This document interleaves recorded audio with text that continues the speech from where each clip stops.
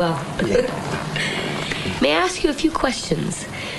The Food and Agriculture Organization of the United Nations once asked you six times to be their chief consultant. I don't want to hide the fact. I have many, many titles, both in China and abroad. But this one, I value it very much. Why?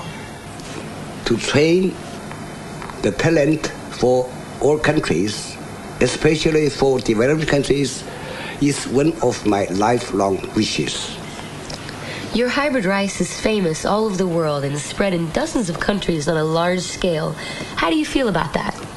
Of course, I'm very happy and excited because hybrid rice technology not only belongs to China, but also to the whole world.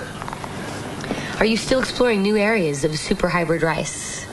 As long as my life is going on, I never stop pursuing and dreaming for super high yield of rice. I heard you had a beautiful dream.